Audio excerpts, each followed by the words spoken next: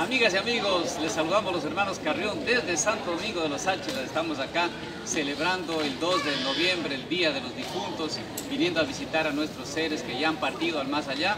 Y estamos acá con la familia Monar. Queremos aprovechar la ocasión para enviar un saludo cariñoso para toda la familia Monar. Y para, especialmente para don Segundo Monar, nuestro querido amigo. Vamos a dedicar un verso muy lindo para toda la familia Monar. Bendigamos la casa de la familia Monar y al albañil que la hizo, que por dentro está la gloria y por fuera el paraíso. Y hoy vamos a, hoy vamos a tomar la colada morada también, ¿verdad? Ah, ¿Y ustedes ya hicieron la guagua o no todavía? Ya, sí, está grande la Ya está grande la guagua. Va- vamos a preguntarle, vamos a preguntarle acá a nuestro amigo, ¿cómo es su nombre? Don Jorgito, ¿usted todavía, todavía puede hacer la guagua o ya no? Guagua y guaguas. ¿Con quién va a hacer la guagua hoy día?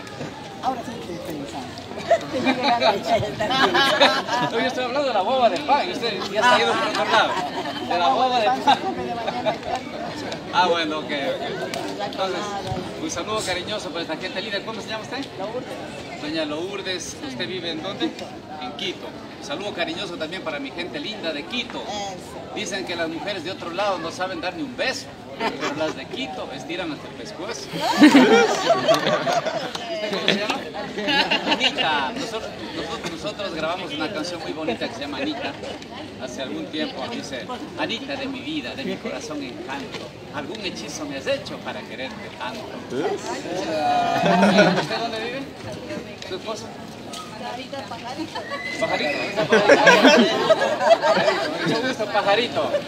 Verá, pajarito, le voy a enseñar unas coplas muy lindas para que le diga a Anita, porque dicen que dicen que la mujer se enamora por el oído. Por eso es muy importante que el hombre aprenda a hablar bonito. Cuando llegue a casa, llegue con alegría. Dígale Anita, en el fondo del mar suspiraba un pez mocho. Y en el suspiro decía, Anita, apúrese con el sancocho.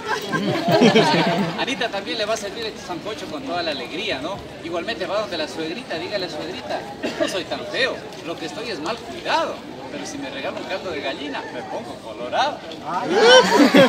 Todas esas coplas bonitas, aprenda para que la mujer cada día esté más enamorada, que el amor, la llama del amor crezca. Así es, es importante siempre las palabras bonitas porque dice que el amor entra principalmente por el oído. Así que jóvenes muchachos, a enamorar a su esposa, a enamorar a su novia, porque de lo contrario viene Don González, el que entra cuando tú sales. Cuidado con ser violentos, cuidado con ser violentos.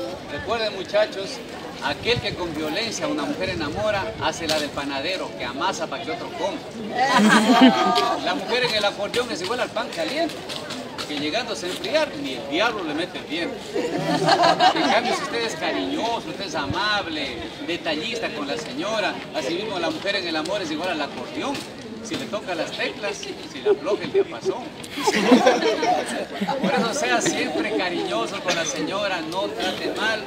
Eh, recuerde pues ser siempre eh, amable, ¿no? Cuando llega a casa siempre con un, un verso bonito, decirle, por ejemplo, acá le digo a Pajarito que cuando llegue a casa le diga a Anita, Anita de mi vida, alegría de mi corazón, cada vez que tú me miras se me sube la presión.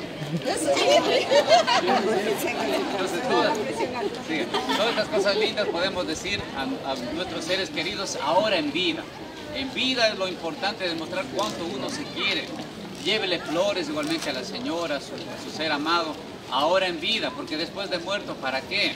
¿Sí? Por eso yo tengo un verso muy lindo que dice, el día que yo me muera, no quiero verte llorar. En vida no me quisiste, no sirve disimular. Ni un ramo de flores quiero el día de mi funeral. En vida hubiera querido amor incondicional. Por eso demuestren en vida lo que se ama, ¿sí? Todo lo que ustedes aman. En vida es todo. Vida todo. Bueno, gracias. Chao, chao, chao.